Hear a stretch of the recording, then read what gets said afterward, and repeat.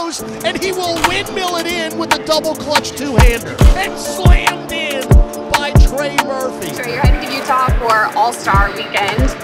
At this point in your career, is that something that you thought you'd be achieving, getting there, getting to play in the festivities of All-Star Weekend? Yeah, definitely at some point in my career, I feel like I would be playing, you know, All-Star game or Rising Stars game, participating in a competition. But I mean, you know, it's a blessing participating in it, you know, your second year. And, you know, I'm very excited for it, very proud and uh, blessed, I would say. What does that honor say about the growth that you've had here in year two?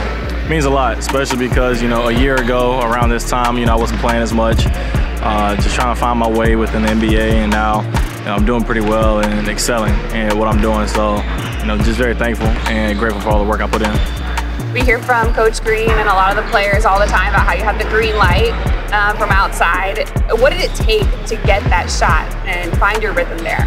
Really just my work, all the work that I put in and trusting it and, you know, just being confident every single day and every game and just knowing, like, you know, whenever I take shots, it's going to be a good shot for my team, especially since we want to generate more threes.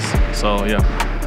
You're getting to showcase a little bit different side of your game, All-Star Weekend, participating in the dunk contest. How did that come to fruition? Um, in all honesty, you know, I was just doing a lot of really good in-game dunks, and you know, I know I have a lot of tricks in my bag when it comes to dunking. And so, you know, there was a little push from the organization that helped me, you know, get into the dunk contest and, you know, just ready to showcase that side of my game. You know, I didn't start dunking until my senior year in high school. So, you know, it's kind of crazy to me now that I'm in the dunk contest when, you know, I started off so late.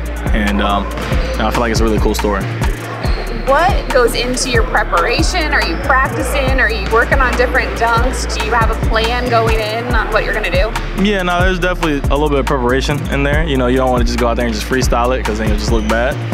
But obviously, I'm not practicing it every single day. Like, it takes a little bit to, you know, jump that high do dunk contest dunks and not be tired after. So, you know, just got to make sure I'm focusing on, you know, the game uh, first and then, you know, the dunk contest after that. Any props? Are you bringing anything with you? Can you share any of your plans? Tune in February 18th um, on that Saturday night, and you will see what I have in store for you at the AT&T Slam Dunk Contest.